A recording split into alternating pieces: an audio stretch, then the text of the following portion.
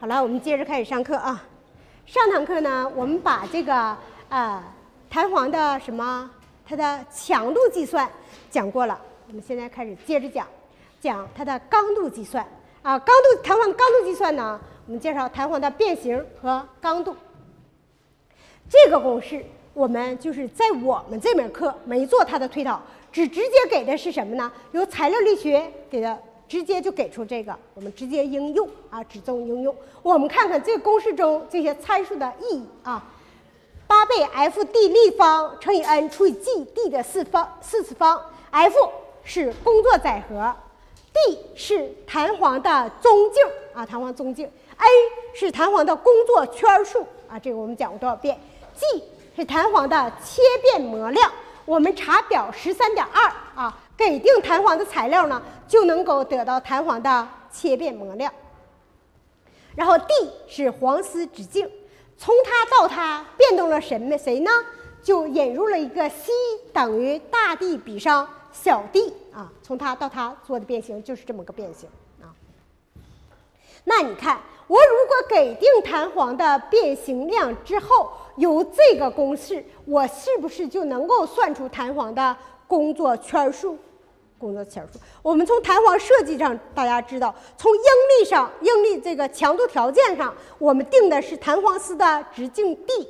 从这个变形这方面，我们定的弹簧的工作圈数 n 啊，定的弹簧的工作圈数 n。那对于压缩弹簧或者没有出应力这种拉伸弹簧，我们这些用变形用的是最大工作载荷对应的变形，兰姆达二。啊，这个 F 呢也是对应的是最大工作载荷啊。对于有出应力的拉伸弹簧，你看这个我要有变形，要是什么情况呢？要这个最大工作载荷减去一个出出应力对应的这种载荷啊，对应出应力那个载荷，这个时候它才可能有变形。那这种是什么？对应有出应力的情况。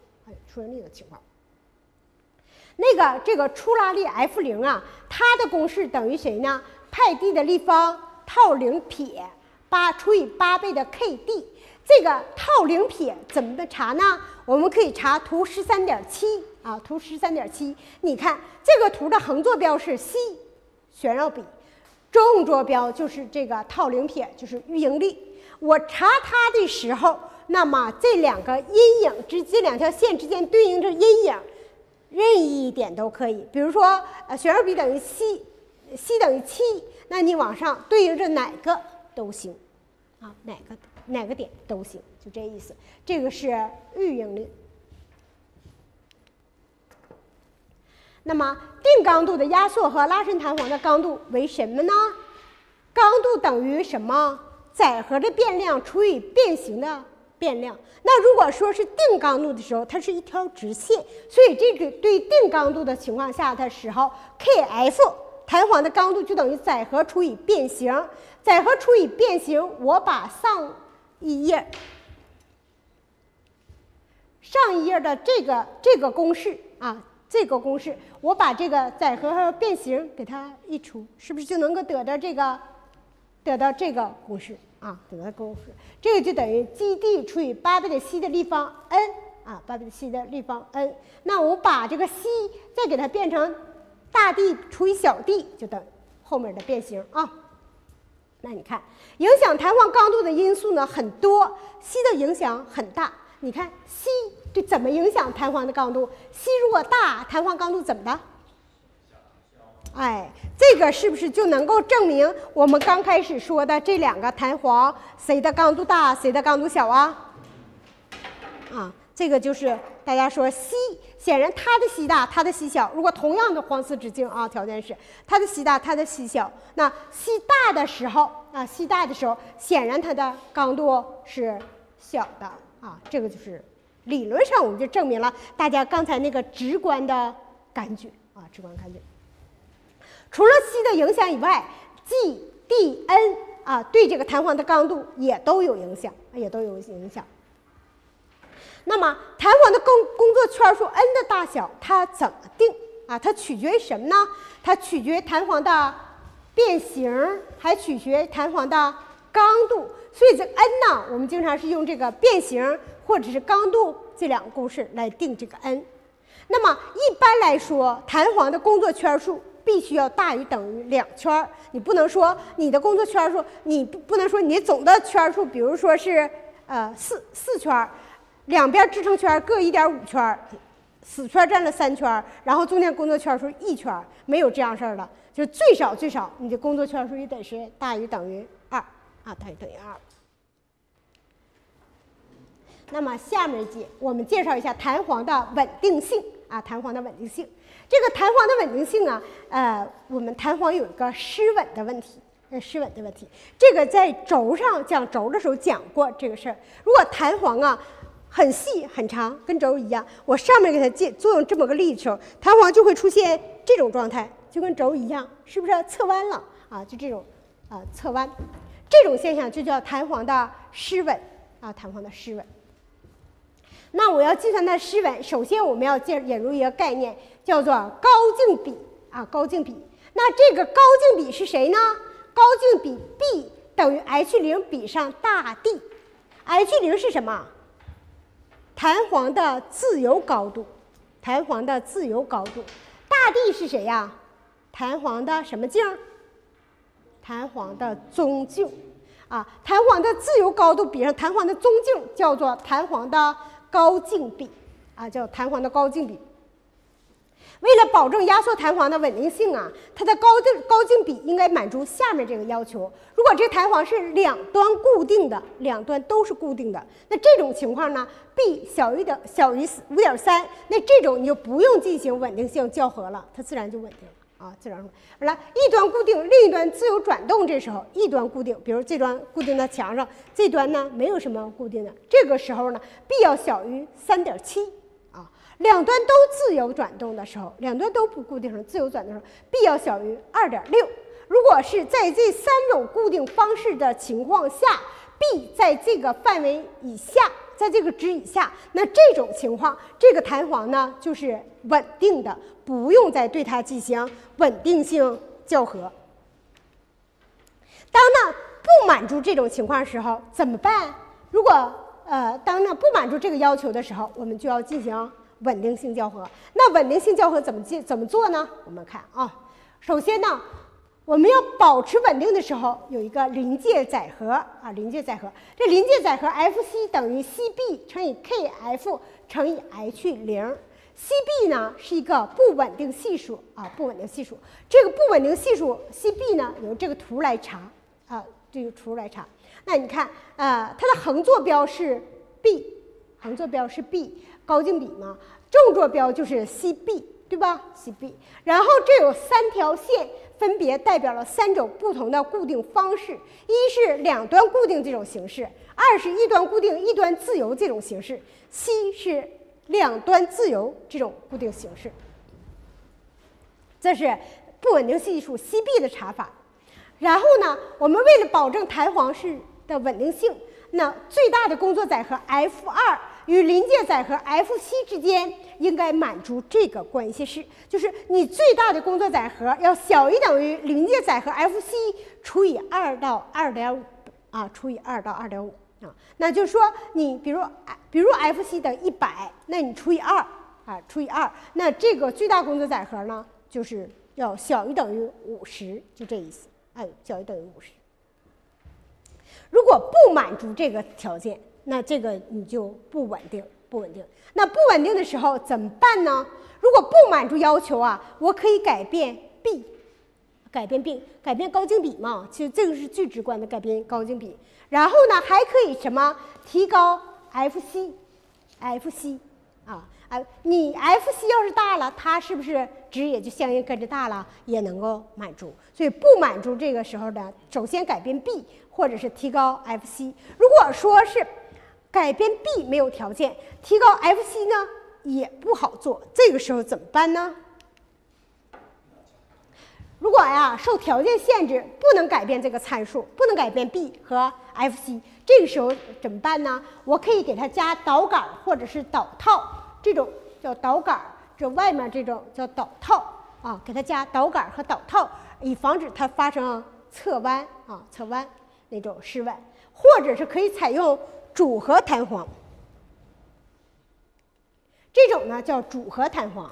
这个组合弹簧呢有各种组合方式，像这种是多个弹簧啊，就这么排在一起的。还有后面我会介绍到它什么样弹簧呢？它是这个不同直径的弹簧，不同直径弹簧这么这么放在一起的，给它套上的啊，这种也叫组合弹簧。就是说它刚度不够的话，你可以采用这么几种方法呀：导杆、导套、组合弹簧。组合弹簧本身的结构又有各种不同的形式。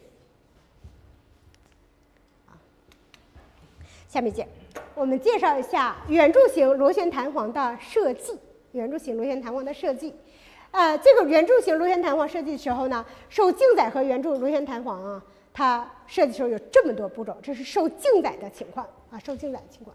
第一，那选材和确定使用应力啊，选材和确定选定应力。那么选材之前呢，我们要初首先要初选一下弹簧的旋绕比，弹簧指数 c，也就是旋绕比。啊，c 等于大 D 比上小 d 啊，弹簧中径比上弹簧丝直径。根据初选的 c 及安装空间估算中径 d 啊，根据你初选的那个 c 和你安装的空间，那你说我选这个 c 之后，我就一定是这么大 d，还是一定是这么大 d？这个不一定，跟你安装的具体位置啊、空间还有关系。那定了 c 之后，你定。估算一个 d，如果说是 c 值、d 值都定了，那等于 d 你已经估取了，对不对？估取了 d，那我选定材料就可以确定它的使用应力，因为使用应力是和它 d 相关的。啊，给定了使用应力 d 之后，我就可以根据强度条件试算弹簧丝直径 d 撇，这是强度条件，试算弹簧丝直径 d 撇，然后根据变形条件计算。这个是变形条件，应该把 n 导出来，n 等于多少？哈，那计算出弹簧的工作圈数，这弹簧工作圈数知道了，然后呢，弹簧丝的直径知道了，我们呢还要计算弹簧的主要尺寸，表十三点六那么多的尺寸，我跟大家说到过，那些尺寸呢都很重要，但是呢不需要都讲，我给大家只介介绍了是什么鱼系和间系，因为那俩需要解释的，我给大家说了一下。按照那个弹簧的主要尺寸呢，把其余的尺寸算出来，啊，算出来。第五是验算稳定性啊，验算稳定性。那这个我们刚刚讲过，对于两端固定的、一端固定、另一端自由转动的和两端自由转动的这几种不同形式，b 值是不相等的啊，b 值是不相等的。那 b 对于两端固定，b 要小于五点三，那就稳定。对于一端固定，另一端自由转动时，b 小于三点七是稳定的；两端均均均自由转动的时候，b 小于二点六就是稳稳定的。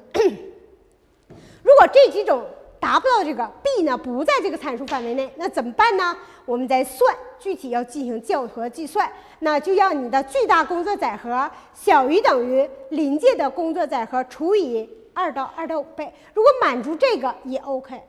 如果再不满足，我们怎么办呢？就得调 B 高径比啊，调 B，或者是增大这个 FC 啊都行。如果 B 和 FC 都没法调了，就参数受呃条件限制都没法调了，你就得怎么办？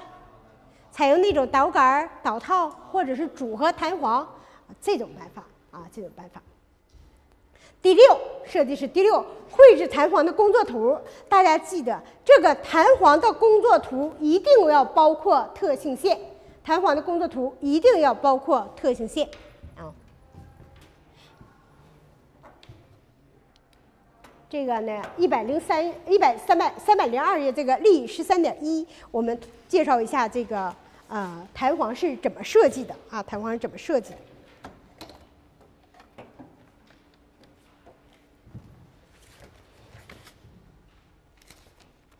三百零二页，大家翻一下书。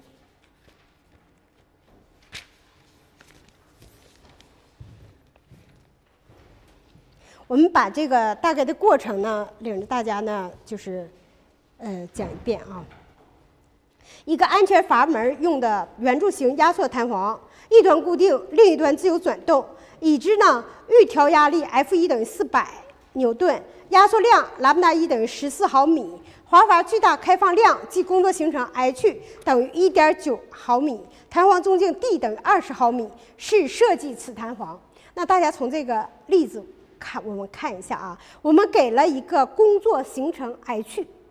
工作行程 h 等于兰姆达二减兰姆达一，等于兰姆达二减兰姆达一。那等于这道题给了兰姆达一，给了兰姆达二，对不对？给了什么 F 一啊？给了弹簧的中径 d，让你设计这个弹簧。你看它下面解的时候，第一步选择材料并确定许用应力啊，选择材料并确定许用应力。我们看它是怎么选的。那么安全阀用的弹簧呢？虽然载荷作用次数不多，但要求工作可靠、动作灵活，故可以按照二类弹簧设计。二类弹簧大家记得吗？二类弹簧是那种比较重要的那种弹簧啊。二类弹簧选用呢，就是呃，对于静载荷比较受静载比较重要的这种弹簧，选用吸积中应力碳素弹簧钢丝。这个吸积中应力哪用到？大家记得吗？查对，查表十三点三的时候，查表十三点三的时候就用到了这个吸积中应力。用 Y 一型结构，Y 一型结构哪用到？Y 一型结构什么什么地方用到？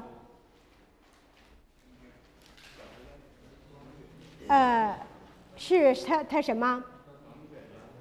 端面是磨平啊，还是不磨平啊，还是被并紧呢？哎，端部结构啊，这个 Y 一定的就是端部结构。然后下边你看啊，它初选呢，C 等于五到八，D 呢，它估算是在四到二点五，啊，然后它估取了一个范围，估取的 D 等于四啊，D 等于四。那由十三点三，它查到了 sigma b，然后根据十三点二呢，查到了许用应力啊，许用应力。所以第二步，根据强度条件确定钢丝的直径。确定弹簧钢丝的直径。那确定这个弹簧丝的钢丝的直径的时候，c 等于二十除以什么？四等于五啊，等于五。那这个时候它的曲度系数 k 是和 c 有关的一个公式，记得吗？能算出来 c 啊，呃，能能能算出 c 之后带到这里得到了 k，k 也知道了。你看下边 f 二等于拉姆达二比上拉姆达一乘以 f 一。这个对这个定刚度的时候，是不是可以这样做呀？啊，定刚度的时候，他把它代理之后，求得了 F 二，求得 F 二之后，代入下边这个式子，呃，D 撇，这个就预算弹簧丝直径，这个预算的结果等于三点八八。但这个三三点八八，大家注意，这个弹簧丝直径跟我们前面讲那个螺纹什么直径一样，它弹簧丝直径是有标准系列的。啊，大家查那两表的时候，查那个表十三点三的时候，会看到那个弹簧丝直径是有一个标准系列的，标准系列中没有三点八八的，但是这个 D 呢是考虑的一个强度的啊强度的因素，所以你选这个 D 值的时候一定要往上选，往上选，所以 D 选的是四啊，D 选的是四啊，D 选四之后呢，然后接着往下看。这个选到第四，选到四之后呢，我们初步估计的 D 呢也是四，所以与原估计值呢相同，我们不用再进进行接着计算了。第三项，根据变形条件确定弹簧的工作圈数。这个下面这个公式呢，就是我们根据那个变形条件导过来的，n 等于 Gd 除以八倍的 F 二 c 的立方乘以拉姆达二。我们把它代理去之后，圈数是九点三三。一般圈数呢，倒不一定说是非得圆整，说是九圈十圈，这倒不一定。这个呢，你可以求取取九圈，也可以取九点五圈啊。一般二分之一圈这样啊，二分之一圈。然后接着呢，它算的是什么呢？Kf，我计算出了它的刚度啊，然后算计算出了实际的最大载荷和实际的。最小就是 F 二、F 一。有的同学可能说了，老师，你看你从前面那个根据那个强度条件确定它黄丝直径是 D 等于四，然后呢，你又根据刚度条件确定了它的 b 工作圈数 n 等于九，是不是这题就做完了呢？不是，为什么呢？因为我最后要给他说工作图的时候，必须画出特性线，给出特性线就要给出相对应的 f 一、f 二和兰姆达一、兰姆达二，所以下面它算的是什么呢？它下面算的实际的最大工作载荷 f 二和 f 一，对吧？实际的最大工作载荷 f 二和 f 一，然后又算了什么？弹簧的极限变形量。用这个极限变形量验算一下极限切应力，大家还记得吗？这个极限切应力对于不同类的一类、二类、三类弹簧，这个极限切应力都要小于等于某个值乘以一个许用切应力，对吧？你要验算一下二类弹簧是否满足这个要求啊？是否满足这个要求？二类弹簧时候，应该这个极限切应力小于等于一点二五倍的许用切应力吗？那你计算结果呢？它这种是满足了，这个满足了。第五步是计算弹簧的其他尺寸，就我们说那个表十三点六吧，那个表中的所有的其他尺寸要在这第五步把它算出来。然后第六步就校核稳定性。你看这道题的稳定性高径比等于三点二二，小于三点七。那这种是一端固定一端游动那种的。它 b 要小于等于三点七，就是稳定的。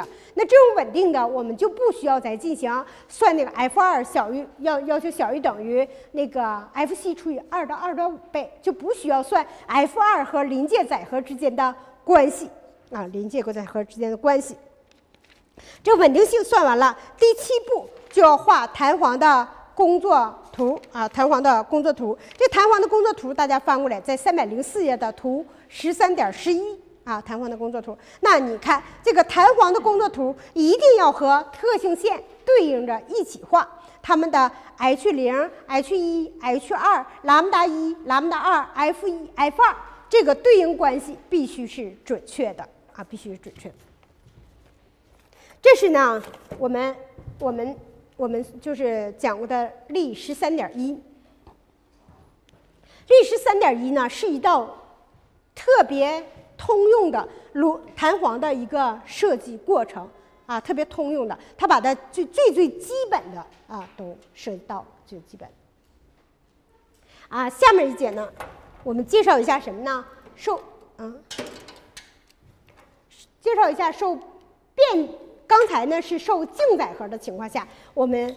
对它的弹簧呢进行了设计。那下面呢，我们介介绍一下受交变载荷的时候，弹簧是怎么设计的？受交变载荷啊，刚才是受静载的情况下，那受交变载荷的情况，这时候除了按照刚才那种受静载的那种计算方式计算以外啊，计算以外，还要根据具体情况进行疲劳强度、静强度的安全系数验算，还要呢对振动进行验算。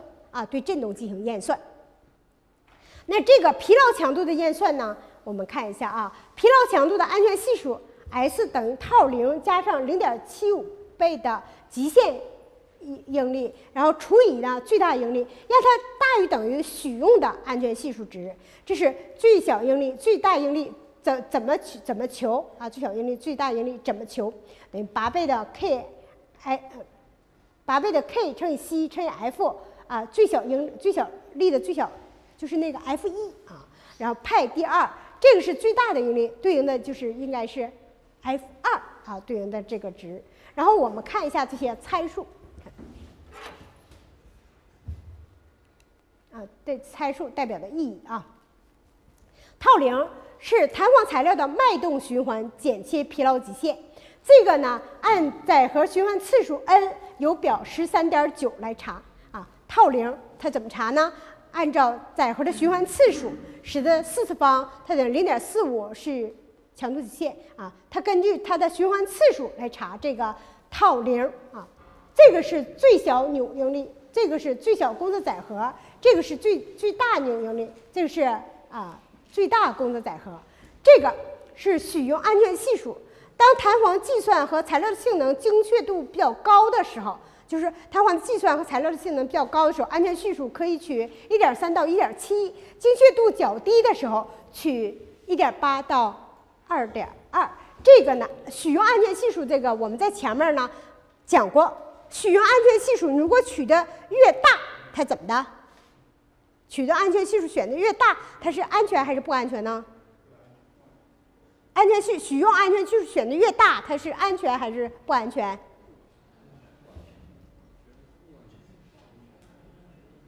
你看这个公式，许用安全系数啊，许用安全系数如果选的越大。那说明这种情况下，它是安全性高还是低？对对，许用安全系数选的越大，说明它安全系数选的就越高了。那如果选安全，选安全系数选大了，整个的结构会是大了还是小了？整个结构放大了，整个结构放大。因此呢，你看这个使用安全系数选择跟我们前面的使用安全系数选择原则是一样的。如果你能保证你的计算和材料性能比较精确的时候，这个时候使用安全系数选小的，取小值。但是如果呢，你精确度比较低，很多事儿你确定不了的时候，那你只能是把这个安全系数放大啊，只能是把安全系数放大啊，然后呢？看看这个净强度的安全系数校校验。如果呀，净强度是用什么？用峰值载荷，就是有的时候可能就个别出现一两个峰值啊，峰值。那这个用这个载荷来进行净强度的安全系数校核校核。那这个呢，就是没有什么难度，大家遇到这个时候呢，按照这公式进行校核就可以了。第三是振动验算啊，振动验验算。对那种啊受高频率循环载荷的圆柱螺旋弹簧，当呢载荷循环频率接近或者等于弹簧的自激振频率的固有频率的时候，大家都知道这个时候会发生什么？发生共振。所以我们知道啊，我们一般设计什么，不光说是弹簧，对于其他也是一样，尽量。避免这个共振点啊，尽量避免共振点。所以圆柱螺旋弹簧的基本自激振振动固有频率 F 就等于这么个值啊，这么个值。那这个值中的 C 是弹簧的刚度，M 是弹簧的质量啊，质量。这个公式是在弹簧两端固定的情况下，它的固有频率的公式。弹簧的基本自激振频率固有频率呢？F。我们应该是选用什么呢？应该选啥呢？我应该让它这个弹簧的自激振动的固有频率啊，应该让它大于等于十到二十倍的工作频率啊，工作频率。给定这个范围，就是让它避开什么共振点啊，避开共振点。前面这个弹簧这部分呢，我们把基本知识介绍完了。但是又因为这个教材中还有很多内容呢没讲进去，我们把一些常用的弹簧呢做了一点补充知识啊列在这儿，给大家呢就是了解着介绍一下吧。第一个是组合弹簧，组合弹簧我介绍过，当呢弹簧呢容易失失稳，而呢受结构的限制呢又没有办法调那些参数的时候怎么办？我用那一些什么导杆啦，或者是什么导套啊啊。这些这些如果再不可以的，我用什么组合弹簧？组合弹簧呢，可以内有好几个弹簧一起哈，并列摆在这儿，也可以是这种情况是多个弹簧，不同直径的弹簧给它套在一起，看到吗？这个也就三个，比如这一个、两个、三个，看见它直径是不一样的啊，不同直径的弹簧给它套在一起来用啊，这种组合弹簧。这种弹簧啊，与普通单个弹簧比较呢，减少了弹簧重量。并且由于弹簧丝直直径小呢，比较容易制造啊，比较容易制造。这种这种是圆柱螺旋的扭转弹簧，这种弹簧啊，常用于压紧储能或者传递转距，呃，使用比较广泛，是门窗的铰链呐，汽车启动装置弹簧，电动机的电刷等等都用这种。这是扭簧啊，这些都是双扭簧、单扭簧，这个。这是蝶形弹簧，这个蝶塔蝶簧啊，它是什么样呢？是由薄钢板冲压而成的无底的蝶形的蝶形弹簧片构成的。它用于什么？空间尺寸小、外载荷较大的缓冲减震装置中。这个是蝶形弹簧的应用。看这个，这个我们学过滚动轴承，用于铰接触滚动轴承的轴向预紧，记得这个轴承需要轴承向预紧吧？啊，轴预紧。有的预紧外圈、预紧外内圈都需要，它都需要这种预紧。这个是这个我们讲过吧？做螺旋弹簧的弹簧垫圈用，啊，做做那个螺旋做螺旋连接的时候的啊弹簧垫圈，我们讲过这个弹簧垫圈用。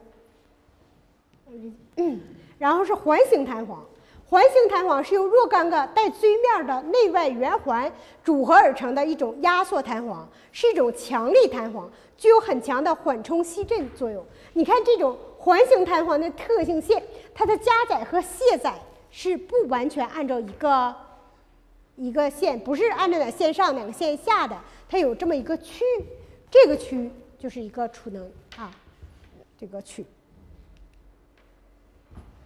然后这个是一个平面涡卷弹簧，也就是我们说那个发条啊，发条弹簧，它主要用作仪表机构的发条及武器的发射弹簧。那它的特性线，大家看不是定刚度的吧？是不同阶段是不一样的，在不同阶段内，它的刚度好像这块有点圆弧，但这个这个这块刚度是定的，对吧？中间段。啊，这个是平面涡卷弹簧它的应用啊，应用这是钟表机构振荡系统的游丝，还有呢百分表中呢消除空回的游丝。这种是板簧，板簧是由若干片长度不等、曲率不同的弹簧钢片重叠起来的，然后呢要给它加装弹簧夹等组成，多用于车辆的悬挂装置。这是橡胶弹簧，这橡胶弹簧呢？近年来呢，在国内外许多设备机械工程机械工程中呢，应用比较广泛。它如果如仪器的坐垫儿啊、发动机支撑以及机器的减震器等等啊，机器的减震器等。与金属弹簧相比，橡胶弹簧它有些什么优点啊？同一橡胶弹簧能同时承受多项载荷，形状不受呃限各个方向的限制，啊，各个方向的刚度呢可以是变刚度的这种情况。啊，第二呢，单位体积储能量比较高啊。第三呢，弹性模量远比金属的要小。第四，结构简单，拆装比较方便，且不需要润滑。这个是橡胶弹簧和它的特性线。下面介绍的是空气弹簧。空气弹簧是在一个密闭的容器内储入压力空气，利用空气的不可压缩性实现弹簧作用的啊。空气弹簧和金属弹簧相比呢，优点是能同时承受轴向和径向载荷。通过高度控制阀，可以使空气弹簧的工作高度在任何载荷条件下保持一定。同时呢，特性线设计成理想的形状，吸收高频振动和隔音，还有还有隔音的性能好，具有良好的弹性。这个就是轨道车辆用的那种空气弹簧。那么，弹簧这一章呢，我们需要了解的是弹簧的功用、分类、材料和使用应力的确定。呃，第二呢，掌握圆柱形压缩螺旋弹簧的主要几何参数、特性线、强度计算和刚度计算的目的和计算公式。然后，掌握用强度条件确定 D，刚度条件确定 N，掌握各个参数对弹簧强度和刚度的影响。那么，我们下面呢还有一章，第十四章。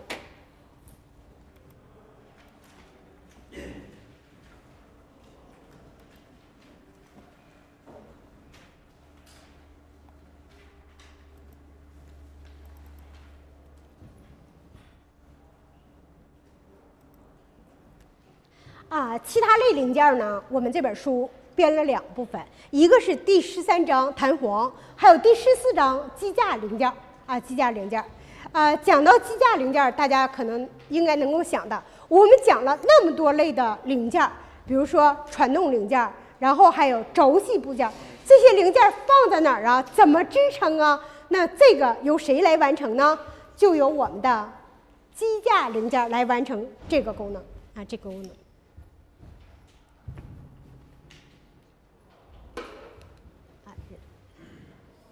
首先呢，我们看这个图呢，就是我们见的特别多的减速器啊，减速器，我们也是减的特别多的减速器。那我们说这个减速器呢，大家做大作业五的时候就知道了。你们大作业五呢，完成的是一个轴系部件，就把一个传动零件啊在轴上要固定上，然后呢要加上轴承把它支撑起来，对不对？你要完成这一个轴系部件。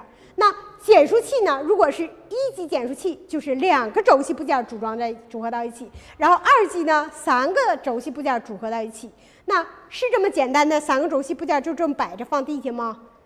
不是，我还得给它什么？给它支撑起来。支撑起来完事儿了吗？没可不可以吧？还要考虑什么？支撑之后要有密封，要有润滑，还有什么？通气。搬对这些散热都有，这是散热。那个涡轮杆就要考虑散热问题，运输等等啊，还有呢，要考虑这些，我就要给它设计它的机架啊，上箱体、下箱体。那我们这个上箱体、下箱体设计过程中都要需要考虑些什么问题呢？就是这节课要考要讲述的内容啊。那么机架的作用，我们看先看一下机架的作用。第一，支撑着机器中的全部零件啊，全部零件。第二，保证组成机器的各个零件都处于正常、正确的工作关系，这点非常重要，非常重要。因为我们讲分析齿轮的时候，我反复给大家讲那个齿轮影响因素的那几个参数，K、K、V、K 贝塔、K 阿尔法，反复讲这个参数，尤其是那个 K 贝塔，大家还记得吗？我讲过，克 K。K 贝塔是讲的齿轮的啮合那个精度，齿轮的啮合精度跟它本身影响有很多关系，很多制造啊什么的有很多关系，还和谁呢？还和支撑齿轮这个轴它本身的变形有很多关系。那和这个轴有关系，那个轴这边还得有轴承，轴承我反复强调，这个轴承座孔一个轴上的轴承座孔应该是一次淌出的，这个目的是什么？对，保证它整个的支撑精度。如果不是一次淌出，很难保证这个。所以这个支撑精度非常重要。那这个轴承座孔在哪儿呢？这轴承，对，就在我的基座和机盖上。这轴承做孔就在我的基座和机盖上啊，或者整体整个就是呃整个就是机机体上。所以呢，第二个机架要保证组成机器的各个零件都处于正确的工作关系。第三，承受各个零件传递到机架上的作用力，作用力。大家分析那个滚动轴承的时候，传力路线，大家记得吗？我们不管是向左向右，那个轴向力，最后都传递到哪儿了？对，都传递到机体上。只有这样式啊，这个机通都传传到机体。你要传到一个地方，这个力就没地方走了，断了，那你这个设计肯定是有问题。那设计肯定有问题，所以呢，我这个机架呀，还有第三点作用，要承受各个零件传递到机架上的作用力。我这个基座和箱体呢，按照构造形式可以分为基座类、机架类、基板类和箱壳类这么四类啊，四类。这是常见的机架的几种类型，比如基座有这种卧式的、这种立式的，这叫门式的，还有呢耳式的。对于这个箱体，就是减速器这种箱体，就是变速箱的箱体、内燃机的曲轴的箱体啊。这个机架呢，有这个行架式的、框架式的和台架式的机架。那么，常见的机架零件的材料和制造方法，固定式机器的基座和箱体呢，通常采用铸铁或者是铸钢。为什么？为什么要采用铸铁和铸钢？价格低是一点，还有呢？啊？啊，吸震也是一条。对，大家通过大家就集思广益啊，把这条都说到了。对，因为呀，这个箱体的结构比较复杂，比较复杂，不像轴就是一些阶梯呀、键呐等等，箱体结构比较比较复杂。你如果说是这个箱体结构，我就一定是。买这么个材料，我就去车，这个相对来说呢就麻烦，相对来就是麻烦。那是我怎么办呢？铸造的时候，要简单多，尤其对于那种复杂的时候，复杂结构铸造比较合适。所以呢，这个时候很多情况箱体呢采用铸造啊铸钢或铸铁，很多情况，但可不是百分之百啊，可不是百分之百。有通过机加来来那个做出的箱体有。我们做那种小减速器的时候，真有很多都都做那个铝的呀，或者什么的，就是机架做来的，不是铸的啊。所以这个呢，呃，就是说这种不是百分之百的啊。那运行式机器的基座和箱体通常采用钢和轻合金材料，批量生产且结构复杂的零件是以铸造为宜啊。单量或者小少单件或少量生产的零件。是以焊接为宜。如果你就有那么一件，结构还很复杂，这时候呢，你要住，你要需要住，它成本就要高很多。所以单件或者是特别大这种情况下呢，焊的时候比较多。那么机架零件设计的基本要求，第一要有足够的强度和刚度，这点是一定的，强度和刚度是必须要保证的。不然你说刚度不好，它要变形了，它都变形了，那支撑那些零件之间那啮合关系还存在了吗？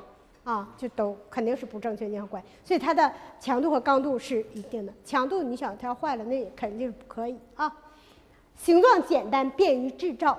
有的有的同学说我越复杂越好，不是这个我反复强调过。形状简单，你就铸造的时候拔模也容易啊，拔模也容易。便于在机架上安装附件，因为这个机架上要有，比如说减速器，我要油标测量油。对吧？才能有。我要有起盖螺钉，上下游我要分开，用起盖螺钉给顶起来。就这些附件，你要考虑要容易安装啊，那位置比较合适啊，位置比较合适。对于钢体、导轨等的机架零件，应具有良好的耐磨性，以保证这个机器具有足够的使用寿命。因为导轨啊、钢体它要是反复运动，所以它要磨损，所以要有保证足够的耐磨性。对于高速机器的箱体和机架零件呢，要保证振动稳定性的要求。对于这机架零件啊，它的计算载荷应该是以应以可能出现的最大载荷作为它的计算载荷啊，计算载荷。那这种机架零件计算的时候呢，对于不太重要的机件机架呢，就要按照经验公式法啊，就直接可以算出来了。或者是有一些现有的一些机器呢，直接做一些参考，这是不太重要的情况啊。形状复杂的机架呢，我们可以用一些经验公式，然后呢再加上一些模型实物、有些实验来得到它的形状复杂的。还有现在比较常用的现代设计方法，都是用有限元仿真算出哪点力最大，哪点最薄弱，对针对那薄弱点进行计算啊，看看它那点会怎么变化。现在都用有些人仿真的情况来做。对于截面形状啊，主要受弯曲的零件选用工字形截面比较好；主要受扭转的零件呢，选用圆圆管型的截面比较好。下面是这个肋板的布置，肋板的布置就是，呃，如果这个肋板呢布置的比较好的话，它可以增大基座和箱体的强度和刚度；如果肋板布置的不当，不仅不能增大基座和箱体的强度和刚度，反而会造成材料呃材料的浪费。那我们看一下这个，这是一个比较，这是不同请加不同类板的时候，这个是基本型不加类板的情况，这种是加不同的类板。那么我们比较一下什么呀？比较一下相对质量和相对刚度，然后还有一个相对刚度和除以相对质量，它俩之间比值。那从这个图，你们来看一下哪种最好呢？大家看哪几几最好？我好是什么个概念呢？刚度大，质量小，就是我把刚度变化的大的时候，质量呢相应的没大很多。不几好？五对，大家看明白了，是五是最好的，五的。呃，这个相对高度和相对质量的比五十是最大的。如果单纯从相对刚度的变化来说，你看四啊，四这个相对刚度增增加很大，但是四的相对质量也增大了很多，对不对？所以呢，综合考虑来说，五这种加力板的方式是最好的。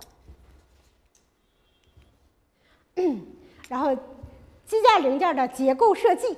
这个加零件的结构设计呢，基座和箱体等零件的工作能力的重要指标是刚度，其次是强度、抗震性能和耐磨性能。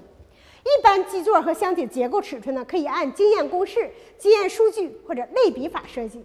重要的时候要进行精确的计算。设计基座和箱体的时候，要便于加工、装拆、吊装，连接要可靠。对于冲击震震动大的机器，机架和地基之间呢，要加隔音板。这是一些机架的一些结构，这个结构能看出来是什么？这是整体式的涡杆减速器啊，涡杆减速器。这个整体式涡杆减速器，你们看一下吗？它这个这个地方，这这个地方放的就很大很大啊。为什么这个圆要大呢？你们想到吗？对，整个装材都要搁这儿，不像抛分式，我把上盖揭下来，它好放，它整个装材都要从这儿走，所以它要很大啊。这是一个整体式的，整体式呢，一般用于小型的减速器。就是中一距小于一百二十毫米这种情况下，可以考虑整体式。整体式的优点，刚度好，结构也简单，零件的数量小少。缺点是装配起来要比较麻烦啊，装配起来要比比较麻烦啊。就是大家课程设计的时候千万注意，如果你设计到整体式了，你要考虑你那东西要从能从这儿呢装进去啊，装进去。这个就是我们的一级圆柱一级齿轮减速器。一级齿轮减速器是一个抛分式的，它的抛分面在这儿，它的抛分面是这儿，上面是机盖，下边是基座，这就是一个抛分式的。对它来说呢，装材要方便啊，装材方便。缺点是增加了零件的数量啊，零件数。那你从这个这个减速器，大家能看见，它给标了这些呢。那上面是机盖，下面是机座，标了一些其他的是一些附件，比如这个油塞儿，把所有的污油要从这儿放出来。这是油标尺，要测量一下油面的高低。我给大家讲过，呃，一级齿圆柱齿轮油面的高低以谁为基础定？二级圆柱齿轮油面高低以谁为基础定？这个叫起盖螺钉啊，起盖螺钉，因为两个抛分面之间呢，如果直接往起拿呢，可能还要很费劲，所以要一个做一个起盖螺钉。这起盖螺钉呢，一定要做那种大倒角的或圆头的，这样才能够保证它拧的时候不会把下表面呢破坏啊破坏。这个叫窥视孔盖，它的作用呢是一个是从它看里头的齿轮的啮合情况，另外一个是从它呢可以注油，还有呢。如果说齿轮啮合情况不太好的话，可以伸进手去做一点调啊，做一调。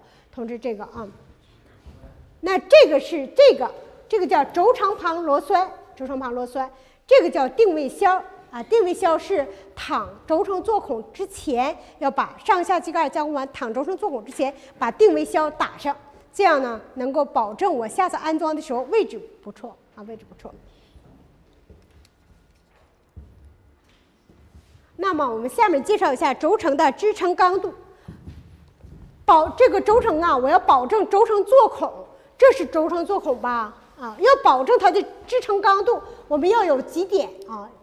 首先，这个地方的厚度要是二到二点五倍的壁厚，因为铸造的时候它壁厚德尔塔等于八，大于等于八，那它等于二点二到二点五倍的八啊，应该是这么多。这就是这是这。轴承的支撑座孔的厚度。第二呢，为轴承座孔加支撑筋，就这儿，这个我们前面不讲那支撑筋的布置吗？就讲的这个啊。第三，提高抛分式轴承座的螺栓连接刚度，这个是指的什么呢？我这不是一个抛分式吗？这个就是轴承旁螺栓。这个轴承旁螺栓呢，我们怎么画呢？我是要做这轴承端盖的切线，外缘的切线，然后啊，我要在这个位置拧这个螺栓。那我这个如果直接在这个切线这个位置拧螺栓，显然在这个抛分这个线这块是拧不上的，对不对？拧不上的。我要保证这两个之间尽可能近，哎，还要把这个螺栓给它拧上，怎么办？做凸台儿，对不对？把它起来，你看在这点肯定是拧不上，到这个位置是不是就拧上了？啊，那这位置保证的是这个螺栓的 C 一和 C 二啊，C 一和 C 二，这个就是。保证它的连接刚度，怎么保证？让这个连接螺栓之间的距离尽可能的近，连接螺栓中心线距离尽可能近，这个就是保证它的连接刚度。而且呢，我为了加工的方便的时候啊，我这个凸台儿应该是一样高度的啊，一样高度的。然后这个是机体的固定，我这个减速器我要跟这个地面相连，那那或者是地基相连，我这块就需要一个地脚螺钉。这块就要装一个地脚螺钉。地脚螺钉是什么意思？给大家讲过，打地基的时候，地脚螺钉已经预埋到地基里了啊。地脚螺钉预埋地基里了。我这个机器安装的时候，把这口对到地脚螺钉上，然后上面再把螺母给它背死啊。这概念，这个就是地脚螺钉啊。地脚螺钉安装的时候，这个就是地脚螺钉的 C 一 C 二给这个地脚螺钉的扳手空间。然后呢？这个底面要相连的时候，它也得是二点五倍的德尔塔，德尔塔是 B 厚，然后这是德尔塔是 B 厚。大家看这个 B，这个 B 呢，一定要要比这个从这个 B 厚到比这个 B 一定要大于 C 一加 C 二再加上德尔塔。为啥要这样事儿呢？为啥要这样呢？因为从这个支撑刚度这个角度来考虑的啊。这个这个叫做旋装轴装悬挂式。固定固定的这这种方式啊，这轴装悬挂式减速器呢，它的输出轴是空心轴，套装在工作机的输入轴上。这种结构它结构简单，安装方便，外扩尺寸小，成本低，常用于较轻的小型的减速器啊。下面是机体的工艺性，这些指的是哪儿呢？这个机体的底面和地面相连的，翻过来给大家看的，这样啊。这种结构是最差的，为什么？对，加工的面儿太大了，就整个像我讲的，整个面都要加工啊，整个面都加工。这种呢，就是要加工这个面儿和这个面儿，这种呢，就是这个六个小的这个地方，所以它这种最好，它次之，那个最差，加工面最多了。那么我们还要做什么考虑？要区分加工面和非加工面，和减少加工次数。这个区分加固面和非加固面，在我们这个机架，呃，在这机盖机体上体现在哪儿呢？这个面儿，大家记得我们讲那个那个设计时候，呃，轴系部件设计的时候有一个 C，我说 C 等于什么呢？等于德尔塔加上 C 一加 C 二，再加上一个五到八。记得吗？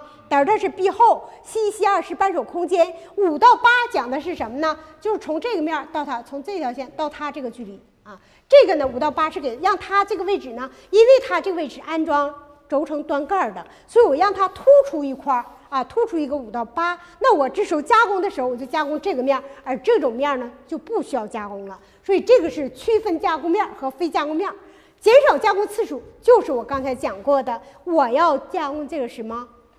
我要轴承旁螺栓要有个凸台儿，我让这凸台儿高度一样，这样说我加工的时候呢，就需要就可以一次就加工完，啊，就不需要多次加工。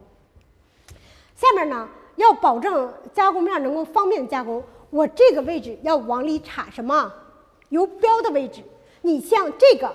我这刀洗刀进不来，看这么卡着了。这种呢，洗刀才能进来。所以你这个要考虑一下，我这怎么能够进刀？不是说你布置哪就可以了，要考虑我的刀具能不能进行进来，能不能加工。然后还有呢，机体的造型要尽可能美观、安全啊，考虑实用。